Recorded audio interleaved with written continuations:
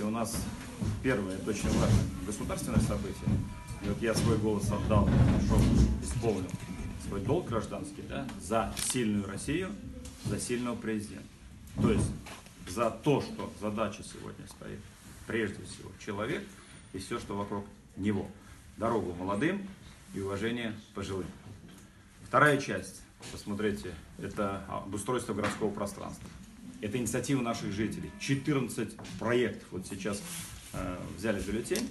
Представляете, и если одновременно была бы возможность, то надо каждый сразу одновременно обустраивать. Не приоритет выбрать, а каждый обустраивать одновременно. Это о чем говорит? Вот сегодня есть гражданская позиция. Сегодня есть общественная гражданская инициатива. Вот мы видим, насколько сегодня это срабатывает. Уже есть что-то сделанное, есть ожидания и есть приоритет.